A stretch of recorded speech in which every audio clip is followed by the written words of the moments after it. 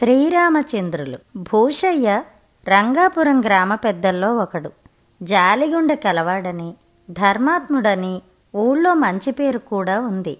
అయితే అదే ఊళ్ళో ఉంటున్న జన్నయ్యను మాత్రం ఆ మాటలన్నిటికంటే భూషయ్య పిల్లలు తండ్రి మాట జవదాటరన్న మాట ఒక్కటి బాగా ఆకట్టుకునేది. అందుకు కారణం కూడా లేకపోలేదు. భూషయ్య పిల్లలు తండ్రి మాట జవదాటరన్నది ఊరువాడా చెప్పుకునే మాటైతే జన్నయ్య నలుగురు కొడుకులు అసలు తండ్రి మాట ఖాతరే చెయ్యకపోవటం అతను గుట్టుగా దాచి ఉంచే నిజం. భూషయ్యకు ముగ్గురు కొడుకులు ఒక కూతురు. అంతా బాగా ఎదిగొచ్చిన వారే. ఆఖరివాడికి తప్ప మిగతా అందరికీ పెళ్ళిళ్ళయ్యాయి. కూతురు అదే ఊళ్ళో హాయిగా కాపురం చేసుకుంటోంది. భూషయ్య మేనల్లుడే అతని అల్లుడు. అతనికి కూడా మామగారి మాట అంటే ఎంతో గురి.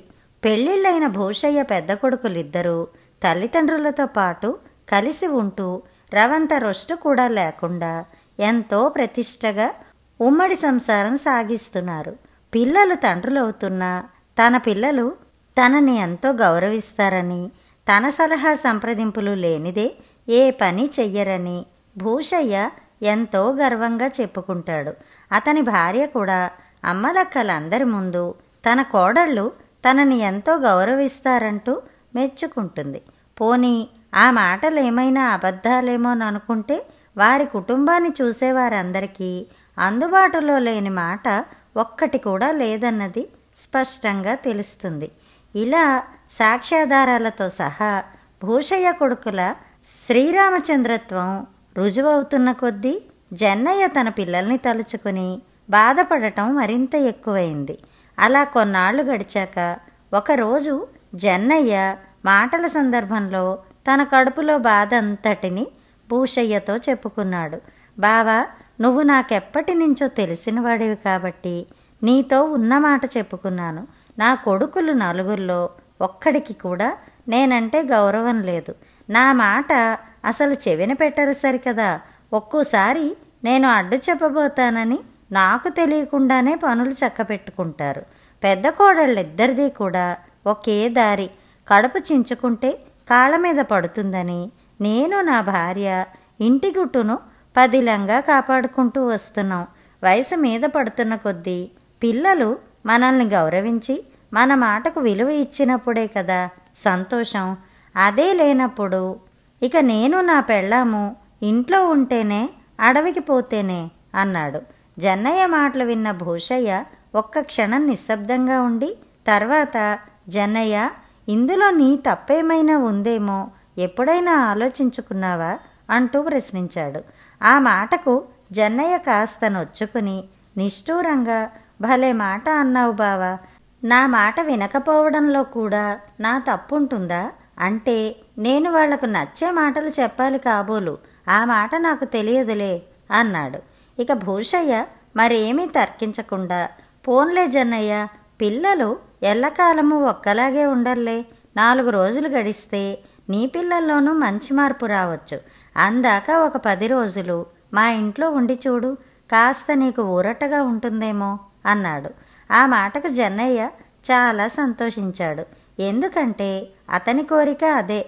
ఒకరు కాకపోతే ఒకరైనా భూషయ్య మాట పెడచెవిన పెట్టకుండా అందరూ ఆయన మాటను తూచా తప్పకుండా పాటించటం వెనక ఏదో కిటుకు ఉండే ఉంటుందని నాలుగు రోజులు భూషయ్యతో పాటు నీడలా ఉంటూ ఆ కిటుకేమిటో గ్రహించాలని జన్నయ్య ఎప్పటి నుంచో అనుకుంటూనే ఉన్నాడు. ఇన్నాళ్ళకు రోగి పాలే కోరాడు వైద్యుడు పాలే తాగమన్నాడన్న రీతిలో భూషయ్య తనను ఆహ్వానించడంతో పొంగిపోయిన జన్నయ్య అతనికి బోలెడన్ని కృతజ్ఞతలు చెప్పుకుంటూ ఆ సాయంత్రమే నాలుగు జతల బట్టలు సంచిలో వేసుకుని భూషయ్య ఇంటికి వచ్చేశాడు. జన్నయ్య భూషయ్య ఇంటికి వచ్చేసరికి అతను తన పెద్ద కొడుకు రామంతో ఏదో మాట్లాడుతున్నాడు. జన్నయ్య ఆసక్తిగా వెళ్ళి పక్కనే కూర్చుని వినడం ప్రారంభించాడు. రామం వ్యవసాయం చేస్తాడు. వారి పొలంలో వరి బంగారంలా పండుతుంది. అయితే ప్రతి ఏడు వేసే వరి వంగడాల్ని కాకుండా ఏవో కొత్త రకం వంగడాలను వేస్తే పంట మూడు రెట్లు పెరుగుతుందంటున్నాడు రామం. అవేమిటో మంచి చెడ్డ తెలుసుకోకుండా దురాశకి పోయి వెయ్యటానికి భయపడుతున్నాడు భూషయ్య. పర్వాలేదంటూ నచ్చచెప్ప చూస్తున్నాడు కొడుకు. ఆ రకంగా నడుస్తున్న తండ్రి కొడుకుల మాటల మధ్యకి తలదూర్చిన జన్నయ్య రామం తండ్రి మాటను కాదంటూ మాట్లాడటం చూసి లోపల సంతోషించాడు. భూషయ్య కొడుకులు కూడా అతని మాటల్ని ఖాతరు చెయ్యరన్నమాట. ఇంట్లో జరిగే తంతు వీధిన పడకుండా భూషయ్య నెట్టుకొస్తున్నాడు కాబోలు. నేను ఇలా రావటం వల్ల ఈ నిజం బయటపడింది అని ఆనందిస్తూనే పైకి భేషజంగా తను ఓ మాట కలుపుతూ ఒరే రామం నాన్న పెద్దవాడు అనుభవం కలవాడు. ఆయన మాట తోసిరాజు చేసి నీ మాట చెల్లించుకోవాలని చూడకు. అంటూ పెద్దరికంగా మందలించాడు. జన్నయ్య మాటలకు భూషయ్య చెల్లించలేదు రామం మాత్రం జన్నయ్య వైపు విచిత్రంగా చూస్తూ నాన్న మాటని కాదని నా మాట చెల్లించుకోవటమా? ఇన్నాళ్ళకు మా ఇంట చాలా కొత్త మాటలు వింటున్నాను జన్నయ్య మామ అన్నాడు. ఆ మాటకు జన్నయ్య మరింత రెచ్చిపోయి మరి నువ్వు ఇప్పుడు చేస్తున్నది అదే కదరా? కాదని బుక్కాయించ చూస్తావే? అన్నాడు. ఆ మాటకు రామం పకాలున్న నవ్వి నువ్వు మీ ఇంట్లో ఎప్పుడూ ఇలాగే మాట్లాడతావు కాబోలు. అందుకే నీ కొడుకులంతా మా నాన్నతో పడలేకపోతున్నామంటూ గోల పెడతారు. ఏ కారణం చేతనో నీకు నేను మా నాన్న మాట్లాడుకున్న మాటలు వాదులాటలా కనిపించాయి గాని మా ఇంట్లో మా నాన్నతో సహా ఎవరం ఎప్పుడు దేనికోసమూ వాదించాం. మా మాటే నెగ్గించుకోవాలని చూడం. మేం చేసే పనల్లా మా అభిప్రాయాల్ని ఒకరితో ఒకరం చెప్పుకోవటం చర్చించుకోవటం. ఏది మంచిదైతే అది చెయ్యడం మాత్రమే అన్నాడు. రామ మాటలకు జన్నయ్య తెల్లబోతూ మరేదో అనబోయేంతలో భూషయ్య కల్పించుకుని జన్నయ్య నీకు నేను ఏం చెప్పదలుచుకున్నానో అది చెప్పే సమయం చాలా త్వరగానే వచ్చింది. విను అంటూ ఇలా చెప్పసాగాడు. నీ పిల్లలు నువ్వు చెప్పిన మాటల్లా వినటం లేదన్నదే కదా నీ బాధ? కానీ నాకు అటువంటి బాధ ఎన్నడూ లేదు. ఎందుకంటే తరాల్లో అంతరాల్ని నేను నీకంటే బాగానే గుర్తించాను. పెద్దవాళ్ళ అనుభవం పిన్నవాళ్ళ అవగాహనల్ని జత చేసుకుంటే అద్భుతమైన ఫలితాలన్నీ సాధించవచ్చునని గ్రహించి అదే మాట నా పిల్లలకు నూరిపోశాను.